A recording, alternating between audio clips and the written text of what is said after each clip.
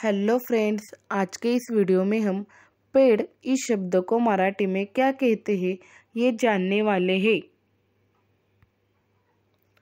पेड़ इस शब्द को मराठी में झाड़ कहते हैं। पेड़ यानी झाड़। अब हम इसके उदाहरण देखते हैं। वहाँ एक पेड़ था, इसका मराठी अनुवाद है तिथे एक झाड होते. पेड़ पर पंछी बैठे हैं. इसका मराठी अनुवाद है. झाड़ावर पक्षी बसले होते.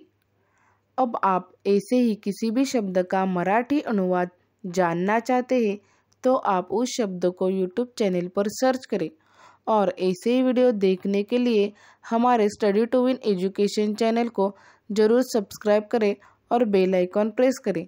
धन्यवाद।